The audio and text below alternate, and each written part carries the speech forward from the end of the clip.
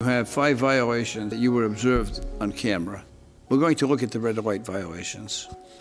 Okay, not much question about that one. Light is red?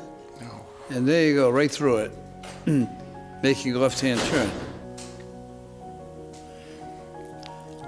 Right through. And you have two parking tickets as well. All I can say is uh, I've been delivering pizza for quite a few years now.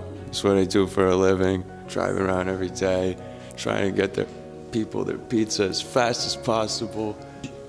You want to make sure the pizza gets to where it's being delivered quickly and so that it's nice and hot and tasty, right? So I get more deliveries and make more money too. So they get more, of course, I mean, you have to make tips, right? Yeah. That's how you make your money. You went through about 15 red lights to get the pizza there on time.